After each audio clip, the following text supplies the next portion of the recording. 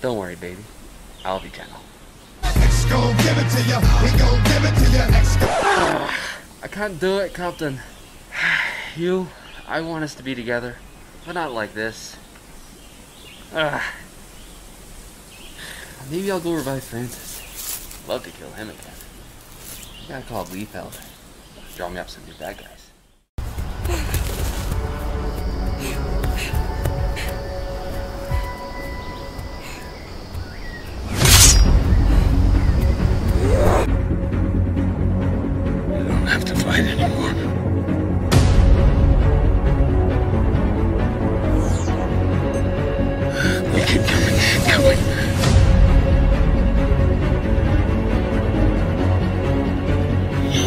God damn it.